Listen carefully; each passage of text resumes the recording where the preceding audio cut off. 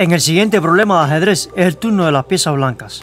El objetivo será jaque mate las piezas negras en solo tres jugadas. Te invito a pasar el video y encontrar la secuencia de jugadas correctas.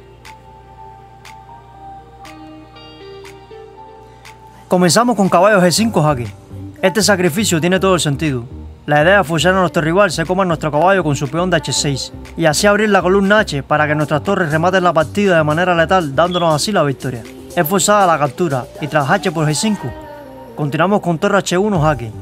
Única es comer nuestra torre con su dama, ganando así al menos un tiempo. Y luego de dama por H1 remataremos con torre por H1 jaque mate ganando así esta partida.